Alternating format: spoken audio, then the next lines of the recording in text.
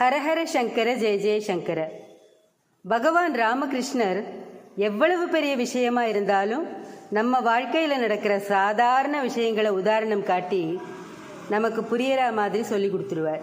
ஒரு சமயம் ராமகிருஷ்ணர் கிட்ட மூணு மாணவர்கள் பாடம் படிச்சுட்டு இருந்தா அந்த மூணு பேரும் அறிவுக்கும் ஞானத்துக்கும் என்ன வித்தியாசம்னு தெரிஞ்சுக்க ஆசைப்பட்டா. ராமகிருஷ்ணர் அறிவுக்கும் ஞானத்துக்கும் இருக்கிற வித்தியாசத்தை பற்றி நிறைய நாள் சொல்லி கொடுத்தார். ஆனால் அந்த மூணு பேராலையும் புரிஞ்சுக்க முடியல. அதனால் பகவான் ராமகிருஷ்ணர் மூணு பேரையும் கூப்பிட்டார்.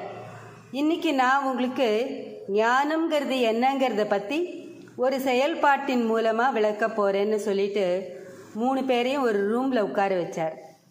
அதுக்கப்புறம் அவர் இன்னொரு ரூமுக்கு போயிட்டு கொஞ்ச நேரத்தில் வெளியில் வந்தார். அந்த அறையோட கதவுகளை மூடிட்டு அந்த மூணு பேர் பக்கத்தில் வந்து உக்காந்தார். முதல் மாணவனை பார்த்து நான் இப்போ போயிட்டு வந்த ரூமில் மூணு டம்ளரில் பால் இருக்கு. அதில் நீ ஒரு டம்ளர் பாலை குடிச்சிட்டு வானார் அவன் உள்ளே போனான் தங்கம் வெள்ளி வெண்கலம்னு மூணு டம்ளரில் பால் இருந்தது. தங்க டம்ளரில் இருந்த பாலை எடுத்து சந்தோஷமாக குடிச்சிட்டு வெளியில் வந்தான். அடுத்தது ரெண்டாவது மாணவன் உள்ளே போனான் தங்க டம்ளரில் பால் இல்லாததை பார்த்த அவன் அதில் இருந்த பால் தனக்கு கிடைக்கலையேன்னு கொஞ்சம் வருத்தப்பட்டான். இருந்தாலும் பக்கத்திலேயே வெள்ளி டம்ளரில் பால் இருந்தது. அதை எடுத்து குடிச்சிட்டு ஒரு அளவு மனசு திருப்தியோட வெளியில் வந்தான். மூணாவது மாணவன் உள்ளே போனான் காலியாக கடந்த தங்க வெள்ளி டம்ளர்களை பார்த்ததும் அவனுக்கு கோபம் தலைக்கு ஏறிடுத்து. எனக்கு மட்டும் வெங்கல டம்ளரா? யாருக்கு வேணும் இது? நான் அவ்வளோ எழப்பமாயிட்டேனா? அப்படின்னு எல்லாம் அவன் மனசில் தோணித்து. இருந்தாலும் குரு பாலை குடிச்சிட்டு வான்னு சொல்லியிருக்கார். அதனால் வேற வழி இல்லாமல் அந்த பாலை வருத்தத்தோடு குடிச்சிட்டு வெளியில் வந்தான். அவன் முகத்தில் சொரத்தே இல்லை.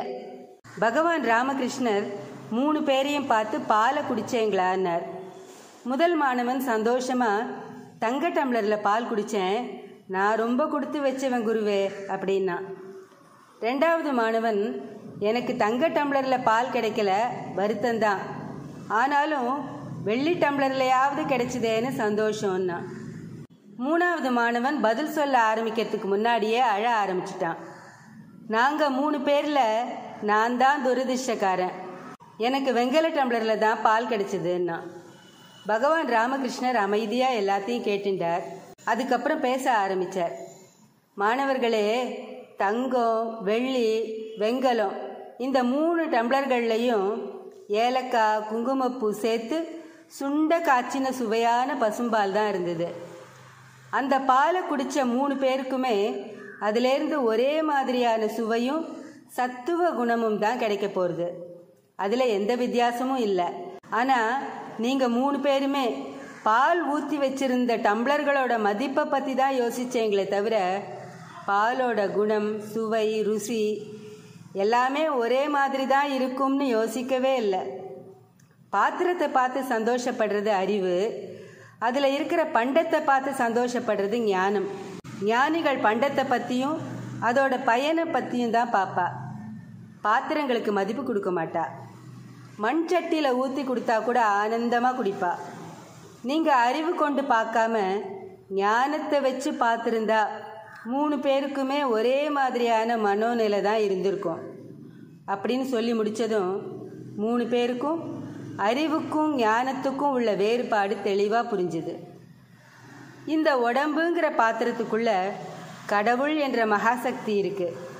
அதுதான் எல்லாத்தையும் வழி நடத்திட்டு போகிறது அதை தெரிஞ்சுக்கிறதுக்கு பேர் தான் ஞானம். அந்த ஒரு ஞானம் நமக்கு வந்தால் போகிறோம் வாழ்க்கையில் எல்லாமே நல்லபடியாக நடக்கும். ஸ்ரீ மகாபெரிவா திருவடிகளே சரணம். ஹரஹர சங்கர ஜெய ஜெய சங்கர. காஞ்சி சங்கர காமகோட்டி சங்கர.